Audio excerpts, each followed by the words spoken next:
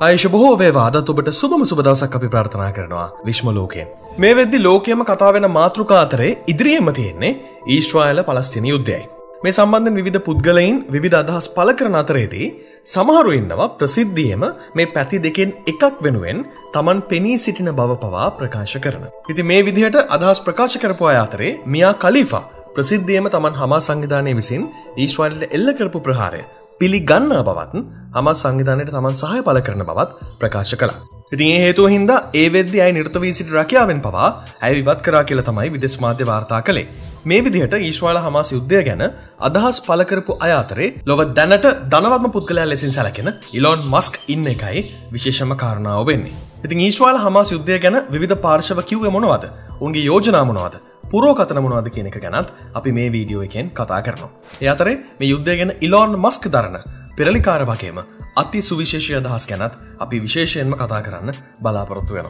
රඳන්න කියලා ආරාධනා කරන්නේ විශ්ම ලෝකයක් එක්ක මේ සුවිශේෂී වූ වීඩියෝවේ අවසාන තත්පර කිහිපයතෙක්.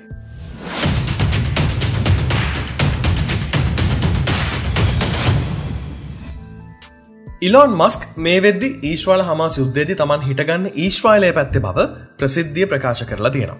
ඔහුට අනුව යම් කිසිවෙක් ඊශ්වාලය ලෝක සිතීමෙන් මකාදාන උත්සා කරනවනං ඔවුන් පරාජයට පත්වෙනවා. ඒවගේ මතම ඊශ්වාලට එල්ලවුණු හමස් ප්‍රහාරය හෙලා දකින ඔහු කිසිවෙක් ත්‍රස්වාදී කණ්ඩෑම්වලට සහය දැක්වියුතු නෑ කියන තමයි ප්‍රකාශ කරන්නේ. එමෙන්ම ටවිට ඇතුළු තමන්සතු සමාජ මාධ්‍ය ජාලාවල හමස් සංවිධානයට සහය දෙන දේවල් පල කරනයගේ ගිනුම් අත්තිටුවීමටත් ඕක්‍රියා කරනවා කියලා වාර්තා වෙලා තියෙනවා. මේ අතර පලස්තිනට සහය පල කරන කණ්ඩයම් විසින් ඇමරිකක්ෂ ජනපදයට තර්ජන කරලා තියෙනවා ඇමරිකාව ඊශ්‍රල්ට සහය පලකලොත් ඉතාම භයාන කිරණමක් ඔවුන්ට අත්වේ කියන තර්ජනයත් මේ තුළ ගැබ් වෙලා තියෙනවා කියෙන කාරණයක් ආරංචි වෙනවා.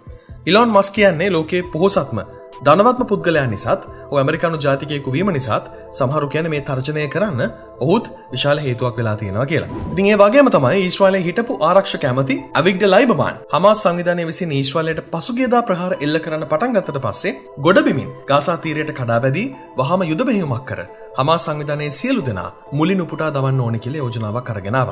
ඔහුට අනුව හමා සංවිධානයේ ප්‍රධාන මර්මස්ථාන සියල්ලම වගේ පිහිටලා තියෙන ගාසාතීරයට මේ විදිට කඩාවෙතිලා ඔවන් විනාශ කිරීම අත්‍යවශ්‍යම කාරණයක්. ඒවගේම ලයිබමන් කියන විදිහට එදසම්සි හැත්තෑ දෙකේ මියනිච් ඔලිම්පික් උලේ ඊශ්වාල ක්‍රඩකැන්ට එල්ලබුණු ප්‍රහාරයේදී. එවකට ඊශ්වාල නායික ගෝල්ඩා මය ක්‍රියා කලාකාරයටම ලෝකය පුරා විසිරී සිටින හමා සහයක බලකනු සියල්ලම ඉක්මනින්ම විනාශ කරන්නට සැලසුම් ඇඳිය යුතුයි. ලයිබමාන් ඊශ්වාලයේ වර්තමාන අගබැති බෙන්චමින් නෙතන්යාව ආරක්ෂ කැමති යවා ගැලන් සහ IDF නායක හසි හලවි විවේචනය කරන ඔහු කියන්නේ වර්තමාන යුදතත්වය සම්බන්ධයෙන් ඔවුන් විනිවිධ භාවයකින් ක්‍රියා කරන්න නෑ කියලා. ඔවුන් විසි නීශ්වාල ජනතාවට මුහුණට මුහුණ හමුවේ සිද්ධවෙන කුමක්ද කියන එක සම්බන්ධයෙන් සවිස්තරාත්මකව පැවසියුතු බව තමයි ප්‍රකාශ කරන්නේ. ඒවගේම තමයි තමන් රජත්තක සන්ධානයකට එනවනං හමා සංවිධානය මුලිනු පුටා දැමුත් පමණක් බවත් විධ රටවල් වලින් ගාසාතීරයට ලැබෙන ආධාර වහ නැවත්වීමට ක්‍රියා කළ යුතු බවත් වැඩිදුරටත් ප්‍රකාශ කරනවා.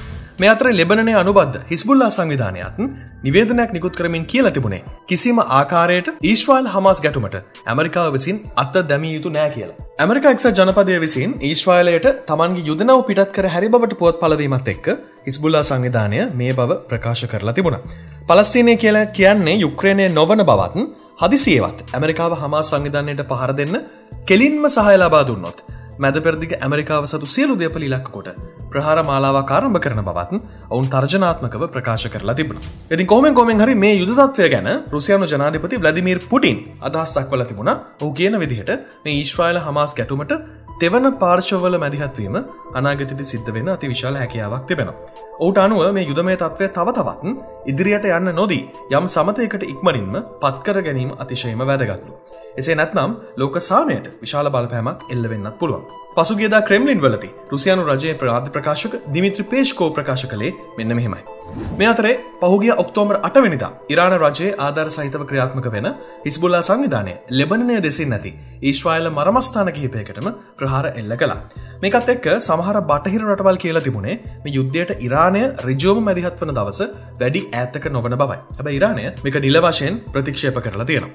ටෙස්ලාසා ස්පේස් එක් සමාගම්බල හිමිකරු විදිහට ඉලොන් මස්ක් ආය අපි කතාකරොත් ඉදිරිට ඇදිල්ලා තියෙනවා ඊශ්වාල හමස් යුද්ධය ගැන තමන්ගේ අදස් ප්‍රකාශ කරන්න මේ අතරෙදි ලෝක මාධ්‍යයේ අවධානය දිනා ගනිමින් ඕ තමන්ගේ ටවිට ගිනුමේ සටහනක් තබමින් ප්‍රකාශ කරලා තිබේ මෙන්න මේ වගේ දෙයක් සැබෑම සටන පවතින්නේ වම සහ දකුණ අතර නෙවෙයි මනුෂත්වය වෙනුවෙන් පෙනී සිටින්නන් සහ මිනිසුන් වඳකර දමන්නන් අතරේ.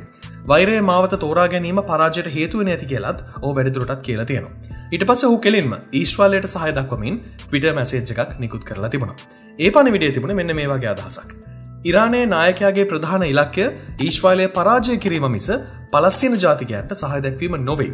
දශක ගණනාවක් තිස්සේ නැවත නැවතත් සිද්ධ වෙන්නේ ප්‍රචන්්ඩේ පැතරවීම සහ පලිගැනීමට උත්සා කිරීම පමණයි. වෛරය ගින්න ඇවිලවීමෙන් කිසිවෙකුට පලක් වෙන්න නෑ. ඉලොන් මස්ට අනුව දැන් වෙද්දි කිසිවෙක් බොරු ප්‍රචාර නොකර ඇත්ත වපුරෝමින් බොරුවට එරේව සටන් කළ යුතුයි. ඉති කෝමාරි මීට අවුදු පණහකට කලින් අරාබි ලීගේ විසින් ඊශ්වලයට පහරදීමෙන් හදිසියම යොම්කිපූර යුද්ධ ඇරමුට බව විශ්මලෝකය බලන ඔබදන්නවා. දැන් මේ වෙද්දිත් සිද්ධ වෙලා තින ඊට සමාන දෙයක්මයි. ඊශ්වාලයේ බහුතරයක් ජනතාව විශ්වාස කළේ ගාසා තීරය අති විශාල ජනකායක් ඉන්න නිසා ඔවුන් ආරක්ෂා කර ගැනීම අරමුණින් හමා සංවිධානය කිසිම දවසක තමන් ඉඳහිට කරන පහරදීම් විශාල යුද්ධයක් දක්වා ගෙනියන්න නැතිවේ කියලා. ඒතේ මත සියල්ල පුස්සක් කරමින් පෝග ඔක්තෝබර් හත්වනිදා මුහුදින් ගුවනින් සහ භූමියෙන් ඔවුන් ඊශ්වාලයට අති විශාල ප්‍රහාරයක් එල්ල කලා. ඊශ්වාලය හමුදසා සිවිල් ඉලක්ක විස්සකට වැඩි ප්‍රමාණයක් ඉලක්ක කරගෙන දැවන්ත විදිට කරපු මේ ප්‍රහාරයෙන් මේ වෙද්දී මිනිසුන් සිය ගණනක් මිය ගිහින් තියෙන් ඉටත් වඩා විශාල ප්‍රමාණයක් තුවාල ලබල තියෙනවා විවිධ විවිධ හේතු නිසා. එට ප්‍රතිචාර වශයෙන් ඊශ්වාලය එල්ල කළ ප්‍රහාරවලින් ගාසාතීරයේතුන් නිරායුද සිවිල් ජනතාව සිය ගණනින් මියගිහින් තවත් විශාල් ප්‍රමාණයක් තුවාල ලබල තිබුණා. ඉතින් හම සංවිධානය මේ ප්‍රහාර එල්ල කළේ මේ ප්‍රතිප්‍රහාර එල්ලබෙන බව දැනගෙන මයි එකන්නේ මේ හින්ද ගාසාතීරයේ සාමාන්‍ය පලස්සින ජනතාවත් මේ යන බව ඔවුනුත් දැනගෙන හිටිය. හම සංවිධානය කියන විදිහට ඔවන්ට මේ ප්‍රහාරවලට ඉරානය ආධාර ලබාදීලා තියෙනවා. ඉතින් ඉලෝන් මස්ක් කියල තියෙන විදිහට ඇත්තටම ඉරානය සහ හම සංවිධානයේ මුක්ත පරමාර්ථය පලස්තින ජනතාවට සාධාරණය අත්කරදීම නං කිසිම විදිහකින් මේ විදිරේ ජනතාව ඔවුන් විසින් දැන දැනම අනතුරේ හෙලන්නේ නෑ. ඊශ්වාලය අතීතය පුරා සමහර අවස්ථාවලද තමන්ගේ අය නිදහස් කරගන්න තමන් යටත් කරගත්ත පලස්සින සටන්කාමින් නිදහස් කරලා තියෙන. දෙදහස් එකොලා වර්ෂයේදී තමන්ගේ යුද නිලධාරින් මුදාගන්න පලස්සින සටන්කාමින් දහසකට වැඩි පිරිසක් ඔවුන් නිදහස් කලා. අද වෙදි ගාසාතීරය හම සංවිධානයට නායකත්වය සපයන යායා සිල්වාර් ඒ අතරිනෙක් කෙනෙක්. මෝ වසර විසි දෙකක් ඊශ්වයිලේ බාරය ඉඳල තියෙන මොට ඉරානය සමගත් සම්බන්ධතා තිබිල තියෙන. මධ්‍යස දේශපාලන මතදරන විශ්ලේෂකයෝ කියන්නේ හමා සංවිධානය මේ ප්‍රහාරය දියත් කළේ සම්පූර්ණයෙන්ම ඉරානය ඕමනාවට වෙන්න පුළුවන් කියලා. ඊශ්වාලය සෞධරාභ්‍යත්ක ඇතිකරගන්න යන සාර්ථක රාජතාන්ත්‍රක සමඳතා බිඳ වැටවීම අරමුණෙන් මේක මෙහෙම කලා වෙන්න පුළුවන් කියලතමයි ඔවුන් කියන්න. ඊශ්වානයසා සෞධරාභ්‍ය අතර සාකච්ඡා ප්‍රමාදවීම එක පැත්තකින් ගත්තොත් ඉරානයට වාසසාගතයි. ඉතින් ඒක එහෙමනං ඉලොන් මස්ක් කියනව වගේ එතන තියෙන පරමාර්ථය කිසිම විදිහකින් පලස්තින ජාතිකයන්ට පලස්තිනයට උදව් කිරීම නෙවේ. එම බලද්දි ඉලොන් මස්ක් කියලා තියෙන සා කරලා තියෙන්නේ ඉතාම පෙරලිකාර දෙයක්. බෝධනෙක් මේ වගේ වෙලාව කොහු කලා වගේ තීරණාත්මක ප්‍රකාශ නොකර තමන්ගේ ජාම බේරගන්නයි පැත්තකර වෙලායින්. ඇති මේ නිසාම සමහරුන්ගෙන් ඔහුට විවේචන එල්ල වෙලා තිබෙනවා.